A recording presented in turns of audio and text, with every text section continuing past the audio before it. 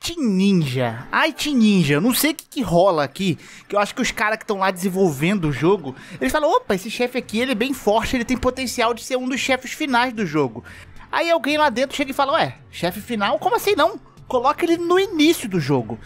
E é exatamente isso que acontece com os jogos da Team Ninja, com essa questão de spike de dificuldade. Eu não entendo muito porquê, mas tem alguns momentos, no Nioh inclusive, que acontecem uns spikes de dificuldade absurdo. Você tá tranquilo até aquele momento do jogo e do nada vem um chefe que gira a chave e deixa você travado por horas.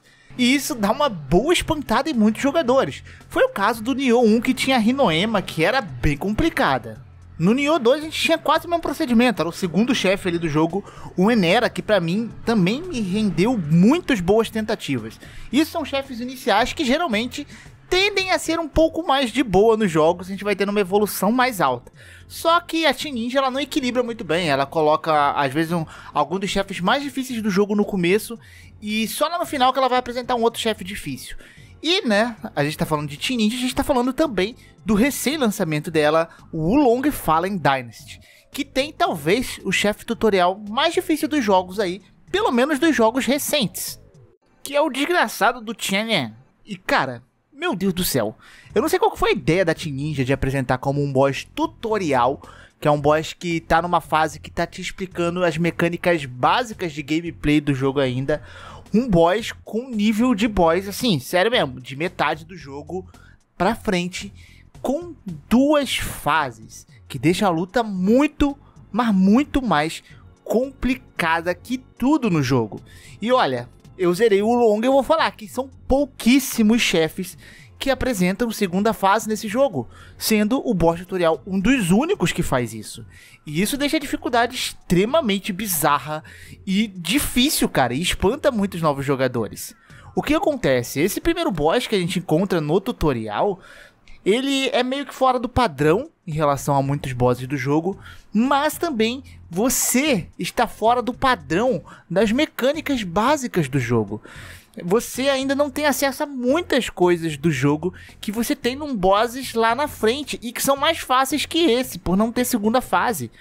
Então, né, aqui você, por exemplo, ainda não tem quase acesso a magias, você não tem acesso aos companheiros que podem te ajudar, você pode invocar até dois companheiros, você tem um acesso mais restrito ali aos espíritos que você pode usar na batalha, você tem muito menos ali potes de cura. Você começa com apenas 3, que eu acho que vai até 10. Eu terminei com 9.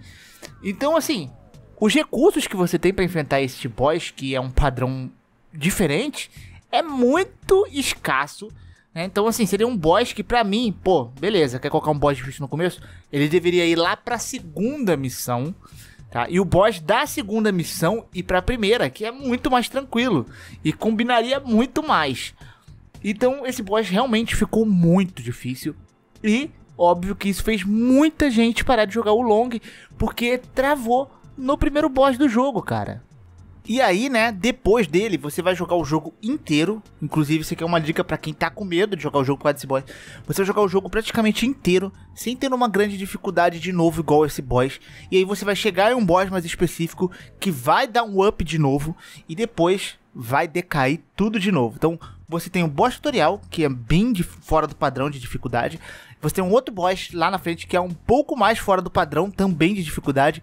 Até porque a forma de lutar com ele acaba sendo um pouco diferente da forma como esse boss funciona. E depois você tem chefes ali normais. Um ou outro pode realmente também te dar uma certa dificuldade, mas você vai sentir que nenhum deles vai ser igual ao boss do tutorial ou o boss ali intermediário do jogo tá? Então, assim, eu entendo muito bem a galera que tá bolada com esse chefe e muita gente que tá quitando do jogo. Nesse vídeo eu quero mostrar como eu passo desse chefe agora mais tranquilo, mas na primeira vez também foram incríveis boas tentativas para conseguir passar dele, né? E ainda mais que eu não conhecia muita coisa sobre o jogo ainda. Eu tava bem cru no jogo. Depois você volta, depois de zerar lá, você consegue enfrentar ele de uma forma mais tranquila. E eu quero mostrar também aqui como eu passo agora, né? Mostrando ali algumas visões de uma pessoa que já manja mais do jogo, diferente da pessoa que está começando a jogar ainda. Esse chefe aqui A primeira coisa que você tem que fazer é a dica essencial desse jogo, que eu demorei muito para fazer e que é bobo, é você defender o tempo todo. Você pode executar o defletir no jogo, né, que é você dar o parry, a esquiva, com a postura de defesa levantada. Então, caso você erre ou caso você não tenha um reflexo suficiente para dar o defletir, você vai defender o ataque e você não vai tomar nenhum dano, tá? E alguns ataques são exceção que causam um pouquinho de dano quando você está defendendo, que são ataques mágicos, mas ainda assim, você basicamente não vai levar nenhum dano quando você tiver com a defesa levantada. E aí, com base nisso, né, você vai treinar o defletir. Você vai ficar com a postura levantada de defesa e quando atacar, você deflete. Se você não conseguir a tempo, você vai defender. Simples assim. A segunda dica que eu dou aqui é você utilizar o ataque forte, que é o triângulo, no caso, ou Y, que é o ataque espiritual. Então você vai defender, você vai defletir, você vai atacar quando der. E quando a sua barra de espírito estiver no azulzinho, um pouco mais pro azul, você aperta o triângulo que você vai dar um defletir no inimigo. Isso vai diminuir a barra máxima de postura dele. Então, conforme você vai fazendo isso, vai chegar um momento que você vai conseguir dar um ataque crítico e este inimigo, né, vai tomar um dano muito forte. A primeira fase é basicamente isso que você vai fazer. Quando você acostumar com isso aqui, você basicamente vai terminar a primeira fase sem você ter usado um pote de cura sequer. E aí você vai para a segunda fase como se fosse uma única fase, porque você vai chegar nela inteirinho. E eu acho que é o maior objetivo é esse. A segunda fase, ele tem alguns ataques mais complicados, que ele ataca meio que de longe ali, né? Usando o braço que estica e tal, como o gomo dele ali. Mas se você defender, nada disso vai ser um problema. Essa segunda fase você tem que ficar mais esperto apenas nos ataques né, que brilham em vermelho que você não consegue defender. Na primeira fase também tem alguns desses ataques. Você vai ter que ficar mais esperto nisso e você vai ter que aprender um pouco a defletir isso. Mas são ataques Acho que são dois, são duas variações. E com o tempo você vai aprender bem tranquilo. Fora isso, você vai seguir o mesmo padrão aqui. Essa luta aqui é um pouco mais difícil, porque o cara que tá te ajudando, ele vai estar tá parado, ele não vai estar tá mais te ajudando de nenhuma forma. Então você vai estar sozinho nessa segunda fase. Mas você vai seguir quase o mesmo esquema de defender e defletir quando der e ficar atento aos ataques vermelhos dele. Mas só de você conseguir passar a primeira fase com mais folga, você vai conseguir vencer esse boss de uma forma um pouco mais tranquila. Mas ainda assim, cara, é bem complicado realmente esse T-Boss. E ele foi um spike de dificuldade fora da curva, realmente. Até dentro do padrão da T-Ninja, que geralmente ela coloca esse spikezinho, um boss desse, desse naipe aí, como segundo, da segunda missão ali. E aqui eles colocaram no tutorial, que eu achei muito louco. Mas, né, se você travou e quiser tentar por essas dicas, espero que você consiga.